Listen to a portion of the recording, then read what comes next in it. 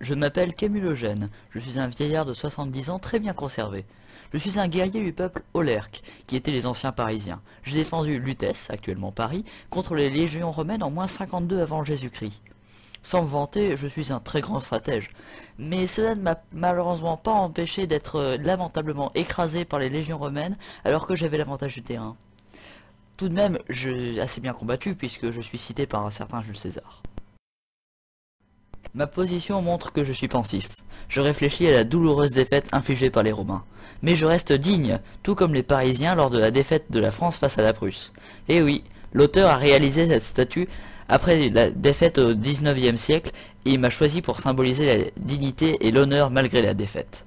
Mon apparence vous rappelle sûrement celle des Gaulois. Au 19e siècle, tous les Gaulois étaient représentés comme des barbares avec la même coiffure, les mêmes muscles et les mêmes armes.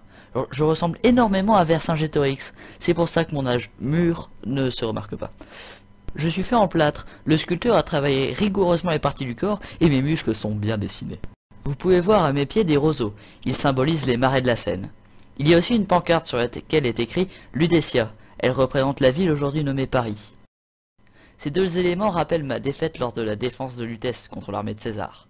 Oui, je vous l'accorde, au début c'est difficile de comprendre la présence des roseaux, mais finalement c'est logique.